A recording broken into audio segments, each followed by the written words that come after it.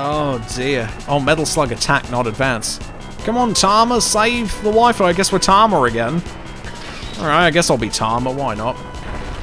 It's time to go into space! Oh god, do I have that? Please tell me I have space. Oh god.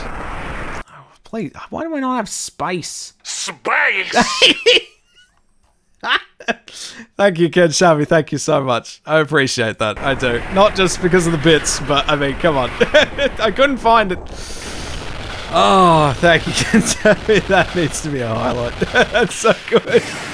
Oh, God. Oh, God. Yep, there we go. Off we go to space. And we're in a rocket thingy. Just, mine the space laser beams. There you go. I think we're still using conventionary weapons here. Oh, Heavy machine gun for your rocket, though. That's even better.